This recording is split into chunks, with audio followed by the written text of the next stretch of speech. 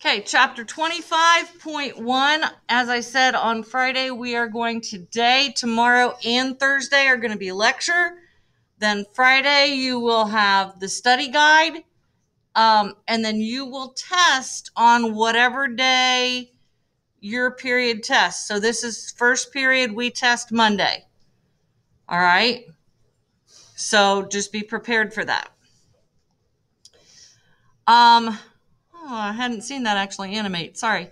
By the time we get done, you should be able to describe historical views of the solar system, name the planets, and describe their motion around the sun, and explain how the solar system formed.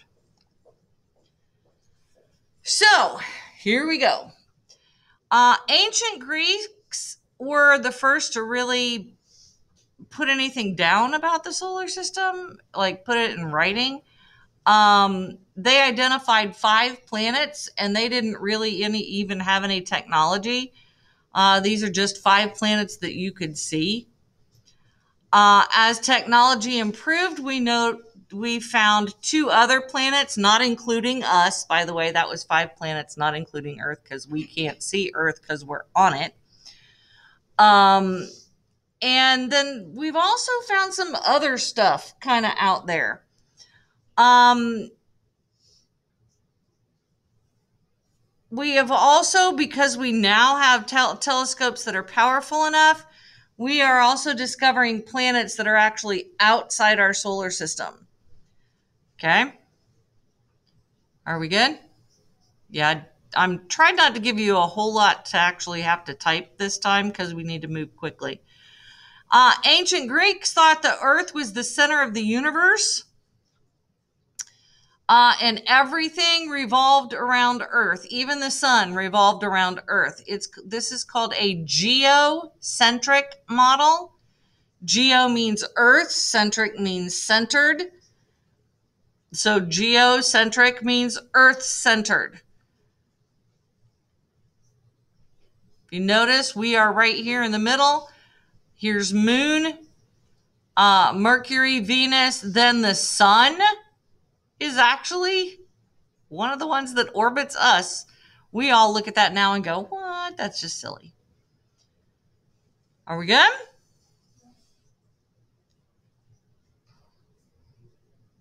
Okay. In the geocentric model, what happens, what they said is that the, the sky, um, it's a set of spheres and all those spheres are located on top of one another. Um, oh, what are those jawbreakers? Man, I hate it when words got in my head. You know the jawbreakers that have the different flavors on them? Okay, that's kind of what they said our, our world was. We were a sphere and each each layer had a different planet on it, and every object in the sky rotated on one of those spheres. And they moved around the Earth as the sphere rotated. I know, kind of weird, right? So that explains why it explained why the planets and the stars moved but it didn't explain things like sometimes it looks like some of the planets move backwards. So it was kind of, you know, like, eh, no, I don't think that's really it.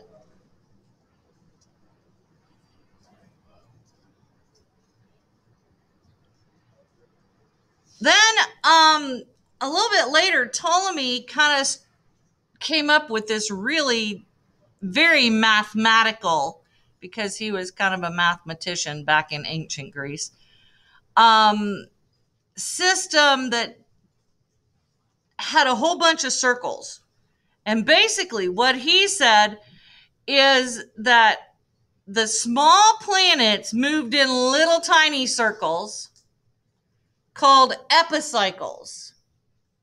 And those epicycles moved in bigger circles called deferents. All right, still Earth centered. but the planets, this kind of is explaining the retrograde motion of some of the planets. So they just do this loopy, loopy loop on another circle. It was very, very mathematical, and there was a great explanation. Still wasn't quite right, but he was getting there. Um, he said that while Earth was in the center circle, Earth wasn't really the center. There was another spot just beyond Earth that was really the center. But since Earth was still in that inner circle, they still considered it to be geocentric. Um, this explanation really actually answered all the questions. It kind of ticked off all the boxes. It still wasn't perfect though. Um, this was accepted from 105 um, CE. CE stands for Christian era. Um, to the early 1500s. So this was accepted for a really long time until um, the telescope came to be used. In the early 1500s, Nicholas Copernicus developed a totally different system. Uh, and it was centered around the sun. Everything moved around the sun. We call that heliocentric. Helio means sun, centric means centered. Heliocentric is sun centered. Now, the problem was he still said that the planets moved in circles. But instead of moving around the earth, they all moved around the sun. So this whole circle thing didn't quite have planets in the places that they should have been when you would go to look for a planet, it wasn't quite there. Instead of it being here, it would be like over here. And it was like, ah, something's going on there. It's just not quite right. Where'd my mouse go? There it is. So it did fix some of the problems of Ptolemy's, but it still wasn't a perfect fit. So in the early 1600s, it only lasted about 100 years.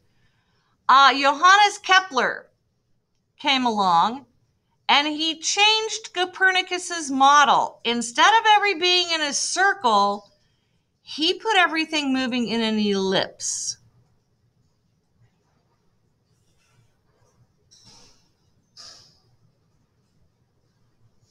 Now, I don't know about you, but I look at this and I find it very interesting that um, even though, why is my mouse being weird? Why do you hate me, mouse? There we go. Um, that even though we know that there are other planets that have moons on them, I always find it interesting that they usually only put our moon in diagrams. Um, did I move through like too many of them? Hang on. Ger arg. Stop! You're going the wrong way. Seriously.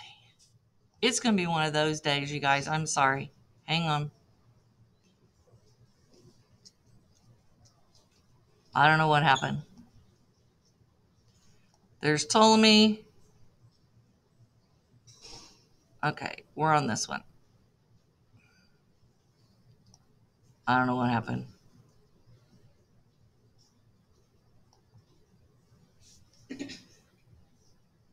Really? Okay, I guess we're just gonna go with it. I don't know. Um, Ptolemy's model actually fit everything. It checked off all the boxes. It allowed you to find the planets where they were supposed to be. Even with that being the case, people did not believe the heliocentric model. because everything was at, at that time everything was very religious based um, very church based and so when people said you know earth was the center of the universe well of course we were because god made us and so he would have of course put earth as the center of the universe or the center of our solar system and when these people came out saying, uh, no, uh, the sun is the center of the universe and we rotate around that, that was a big deal. And the church did not like that. And remember, the church was kind of government. We're very lucky that the church is not the center of our government, but it was back then. So when Galileo discovered a couple of things that proved this correct, that did not make the church very happy. A couple of things that he discovered. Jupiter had moons. Nobody knew that Jupiter had moons before. You couldn't see them with the naked eye. Galileo starts using a telescope and he he can see four of Jupiter's moons. Um so that meant that things could actually orbit around something other than Earth. So, huh. And then they noticed, he noticed that Venus actually has phases, just like our moon does. And the only way that Venus would have phases is if Venus was orbiting the sun. Because it doesn't orbit us uh, it it wouldn't have phases if it orbited us. Venus would not because. So then a lot more people began to believe the heliocentric model. It was called the Copernican Revolution, and it made the church really, really, really mad. And basically, they took Galileo to court um, and in in that time um, they convicted him of heresy they said that this was against god it was against the bible it was against you know everything that we knew um, against it was against the church. And he got in like seriously big trouble about that.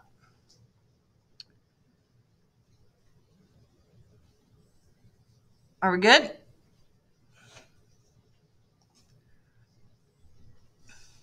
So now we kind of move to where we are.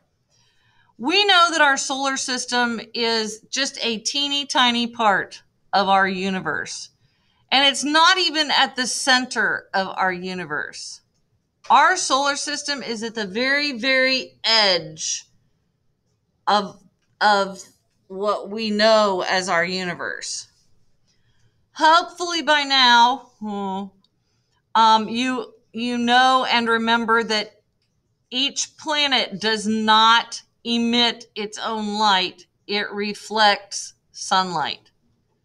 Right? We all know that. Please tell me we all know that. Yeah? So, beginning in the 1990s, scientists discovered new, new solar systems. We're not the only one out there we call these planets that are in other solar systems, we call them extrasolar planets or exoplanets because exosolar is kind of hard to say. So they just call them exoplanets.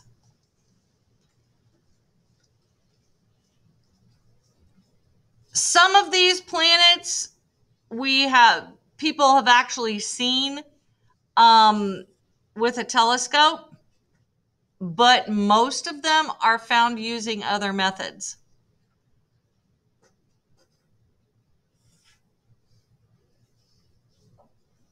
This, by the way, is another solar system that's somewhere out there. Somewhere out there. Sorry.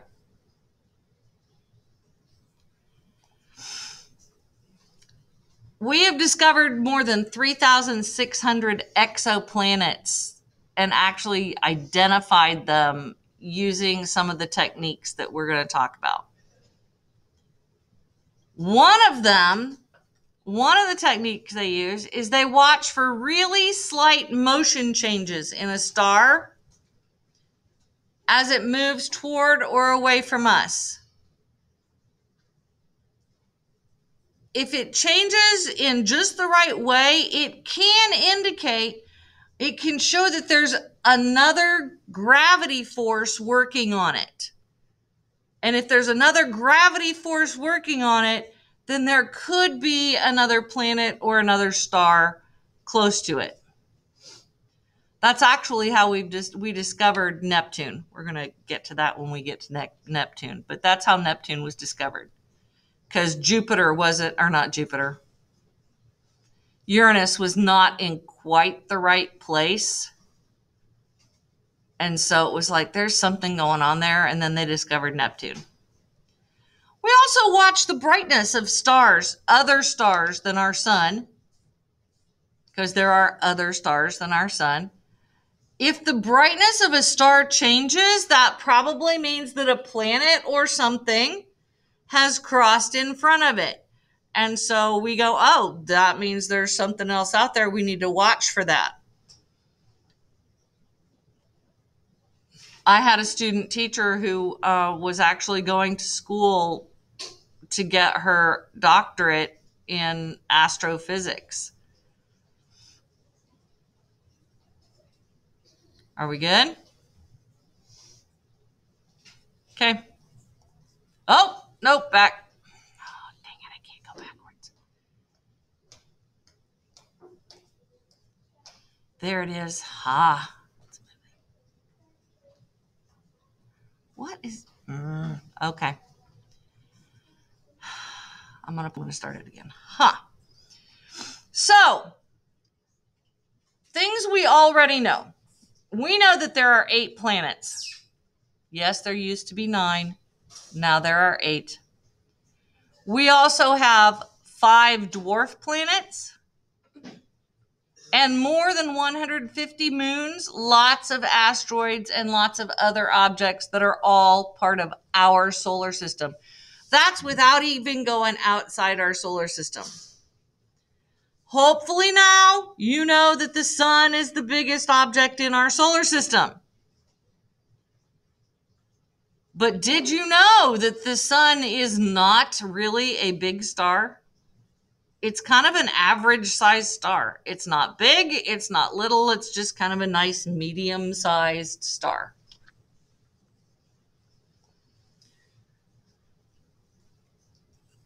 the farther the planets are away from the sun, the more distance there are between those planets. And hopefully by now, you remember that the orbits of the planets are not circular, they are elliptical, which means it's kind of an oval shape. And if you know a planet's orbital period, how long it takes to go around the sun one time, then you can figure out its distance from the sun if you know the mathematical equation and if you're good at math, which I'm not, so I'm not going to go into that. Are we good? Space distances are really, really far apart. We measure them in astronomical units or AU. One astronomical unit is about 93 million miles or 150 million kilometers, which is the distance from Earth to the Sun. So, one astronomical unit is the distance from Earth to the Sun. So when we start talking about how far planets are apart, you'll know. Are we good? Okay. So here's the order of our planets and the way that, okay, this isn't the way I was taught because we had nine planets. but um, it's close enough. Mercury, Venus, Earth, Mars, Jupiter, Saturn, Uranus, Neptune. And the way that we were taught to remember it is my very exhausted mother just served us nachos. Because the first letter in each one is the first letter in each planet. All right. When we had Pluto, it was my very exhausted mother just served us nine pickles.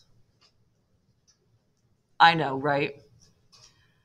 But now we don't have now we don't have Pluto as a planet anymore, so we had to come at you couldn't just say served us 9, so you had to come up with a food that started with N, right?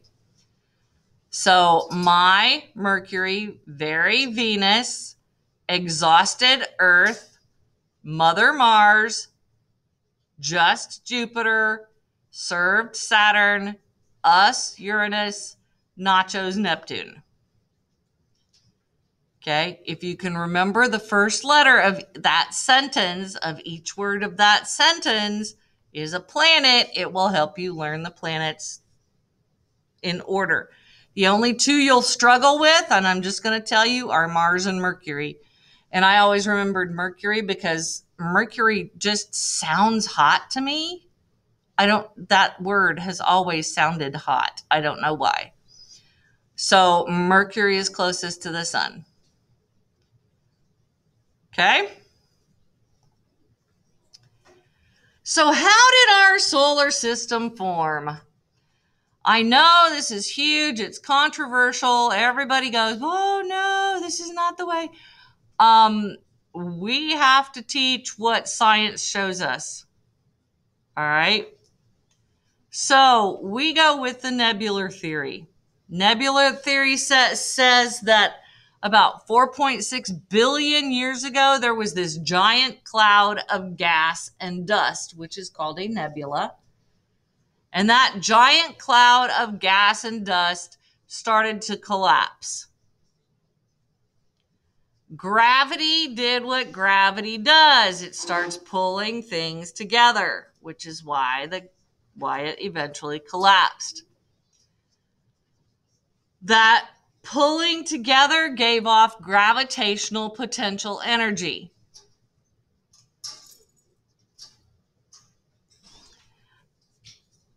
As it started to collapse, small particles of gas and dust started banging into each other. They ran into each other, and as they ran into each other, they combined to make bigger particles, and that combination releases kinetic energy. We already know that that happens. When the nebula finally collapsed, the gravity at the center increased and it started to cause that cloud to spin.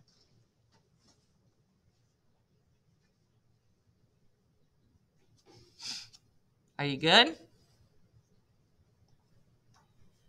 The more it collapsed, the more gravity pulled everything in, the faster it spun. Which makes sense. If you have ever watched, um, have you ever watched ice skaters or ballerinas? When they start to spin, as they they can start with their arms out like this, but as they pull their arms in, what happens? They spin faster. Okay? It's exactly what happened with our nebula. It was all spread out and it started to spin. And then as it started to spin, everything collapsed in. So it spun faster and faster and faster. Most of the mass in this nebula all started to come together to the center of the nebula. It got pulled in. But the rest of it kind of started to flatten out into a disk. The disk, the whole nebula is actually mostly made of hydrogen and helium. But that's also what went out into the disk.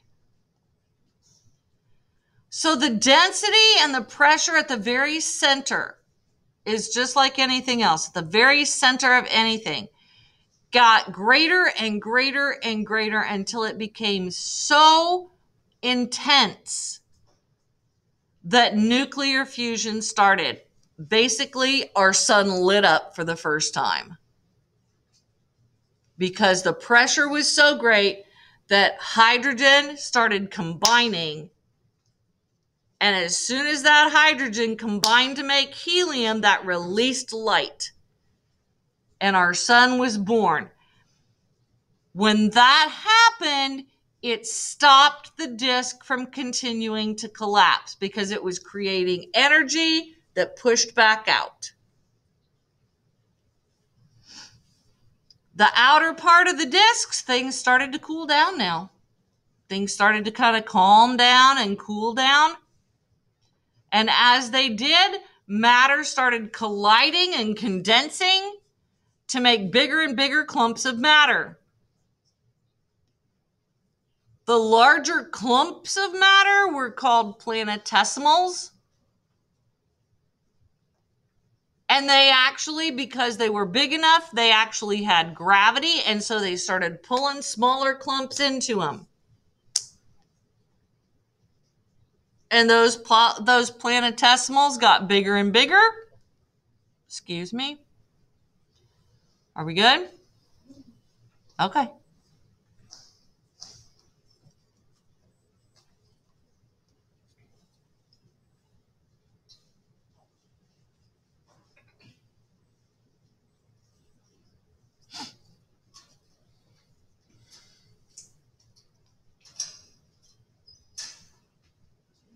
So everything is still colliding with each other. Those planetesimals keep getting bigger.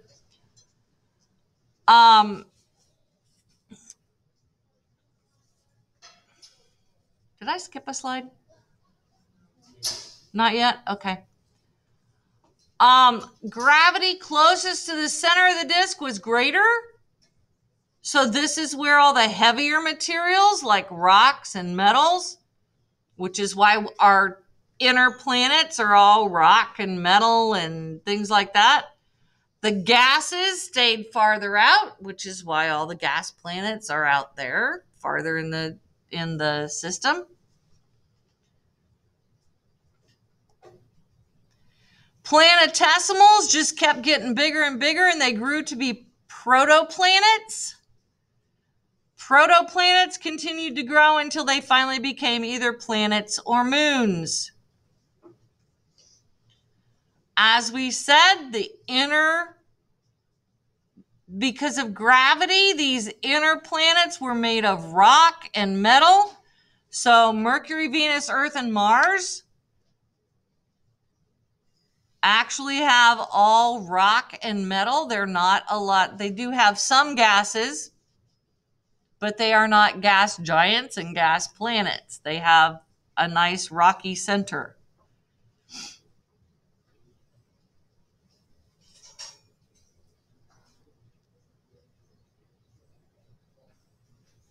We might actually finish these today. So excited. Outer planets Jupiter, Saturn, Uranus, and Neptune. These form from the lighter materials, the gases, hydrogen, helium, methane, ammonia, and water. But the weird part about it is because it's so cold, what we consider to be gases um, can actually be solids or liquids on these planets.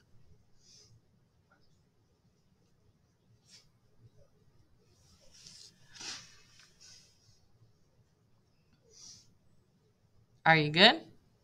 Is that the last one or is there one more? Is that the last one? I will. Just hold on just a second. Any questions? Yes. Yeah, I'm not not those questions, but yes, I will in just a minute. Okay, I'm